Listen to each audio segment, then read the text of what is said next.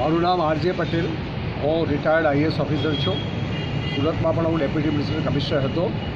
આજે દોઢસોમી ગાંધી જયંતિ નિમિત્તે મહાત્મા ગાંધીના ચરણોમાં વંદન કરીએ છીએ. સમગ્ર રાષ્ટ્ર આજે ગાંધીમય બન્યું છે. આજે સુરત શહેરમાં એક સારી બાબત ચાલુ થઈ ગઈ છે કે અહીંયા ધીમે ધીમે જેમ રાજુભાઈ પ્રમાણે ઘણા લોકો આવવા લાગ્યા છે અને ગાંધીજીને ભાવાંજલિ આપવા લાગ્યા છે.